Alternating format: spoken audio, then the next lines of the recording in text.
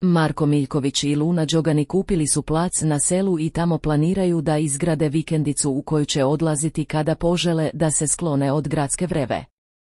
Miljković je prije nešto više od godinu dana odlučio da i Gagiju Đoganiju pokaže imanje koje su pazarili u banatskom selu Mramorak, ali i da provjeri kako napreduju radovi na njihovoj vikendici, koje ima i bunar u dvorištu, a sve je to objavio na njegovom i Luninom zajedničkom kanalu na YouTubeu.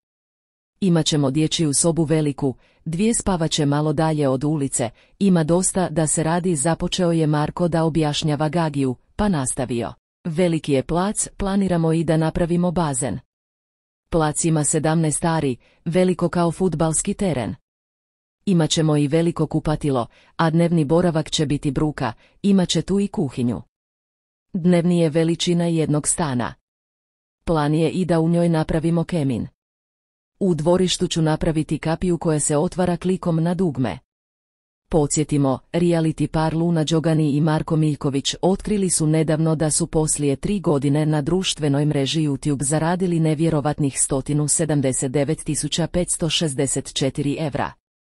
Kako je Marko Miljković objavio analitiku na svom Instagram profilu, podaci govore sljedeće.